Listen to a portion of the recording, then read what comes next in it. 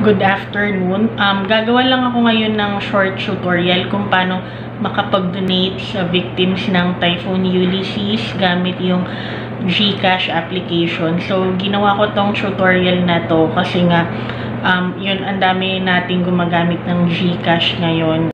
And I think yung ituturo ko din, um, legit siya na way para makapag-donate sa victims ng Typhoon Ulysses kasi marami nang lumalabas ngayon sa Facebook na na-scam sila kasi nga, ayun, may mga tao na ginagamit yung typhoon. Kunyari, humihingi ng donation.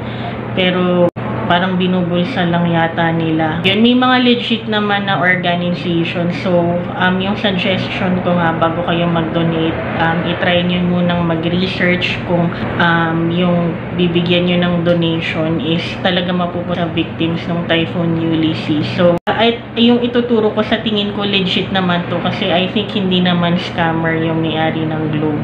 So, ayun, sisimulan ko na yung tutorial.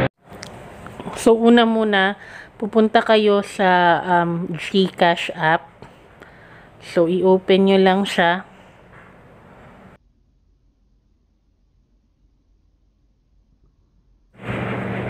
Pasensya na hindi ko na pala nilagay yung part kung saan ilalagay yung login details. Pero once nakapasok na kayo, pasok kayo dito sa pay bills.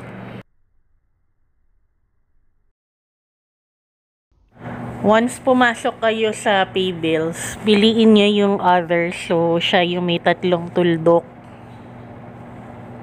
Pagkatapos nun, piliin nyo yung either itong Tulong Cagayan or Ulysses PH Aid. So, ayan, once nakapasok na kayo, so sa example ko, pinili ko Tulong Cagayan. And, ayun, ilagay nyo kung name na gusto nyong ilagay. And then, sa amount, ilalagay ko 1 peso. And, ayun, as mo, um, you can donate for as low as 1 peso. And then, pindutin nyo yung next. And then, may makikita kayong ganyan.